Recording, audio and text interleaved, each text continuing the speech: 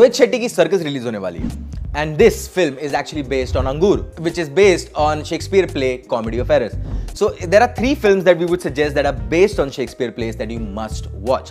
Haider. Haider is based on Hamlet and it stars Shahid Kapoor and the beautiful Tabu in the lead. Watch out for some great performances by Shahid Kapoor and it is directed by Vishal Bhardwaj.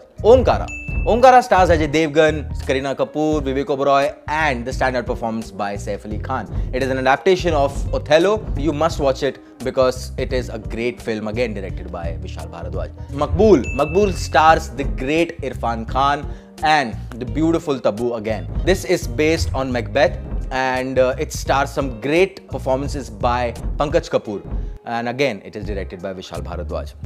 If you like what we just shared with you, then share it with your friends. Uh, comment and tell us that if you liked it, and also don't forget to follow Manchow.